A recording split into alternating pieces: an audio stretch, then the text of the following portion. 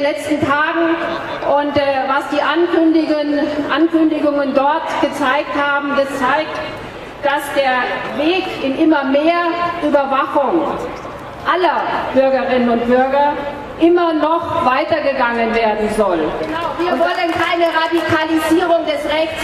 Wir wollen den Rechtsstaat, den Rechtsstaat gegen seine Angriffe auch aus den Innenministerien dieser, dieses Landes verteidigen. Es geht um Rechtsstaatlichkeit und diese Verteidigung liegt in unseren Händen. Und es ist ja schon absurd, dass der Verfassungsschutz der gleiche Verfassungsschutz, der erbärmlich versagt hat bei der Verhinderung und Aufklärung der furchtbaren Morde des NSO, dass dieser gleiche Verfassungsschutz nun noch belohnt wird durch die Erweiterung seiner Kompetenzen und dass dieser Verfassungsschutz jetzt auch noch in den Kinderzimmern überwachen soll. Da sagen wir, pfui, das ist gegen jeden Anstand.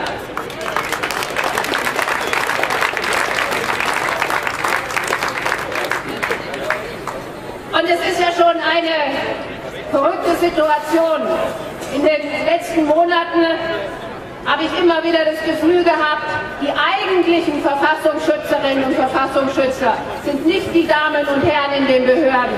Die eigentlichen Verfassungsschützerinnen und Schützer, die stehen hier, indem sie nämlich diese Grundrechte und Freiheitsrechte der Verfassung verteidigen.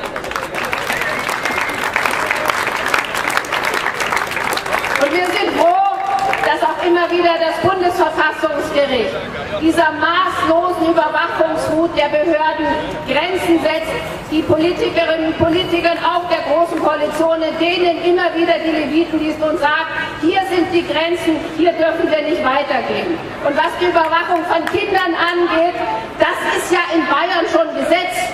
Das wissen die wenigsten, weil vor ungefähr einem Jahr ist in Bayern das neue Verfassungsschutzgesetz verabschiedet worden und neben vielen Grausamkeiten ist dort eben auch die Überwachung von Kindern vorgesehen.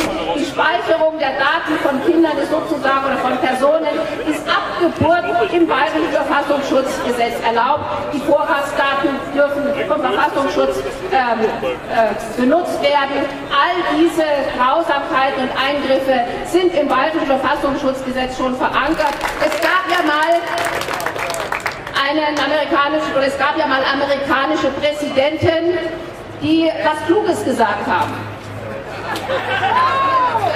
Ja, Franklin D. Roosevelt gehört zum Beispiel dazu und der hat mal gesagt, das Einzige, wovor wir Angst haben müssen, ist die Angst selber.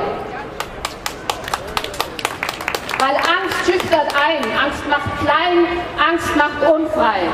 Und deswegen muss es darum gehen, dass wir den Angstmachern jeglicher Couleur unseren Einsatz für eine freie und offene Gesellschaft entgegensetzen. Freiheit statt Angst.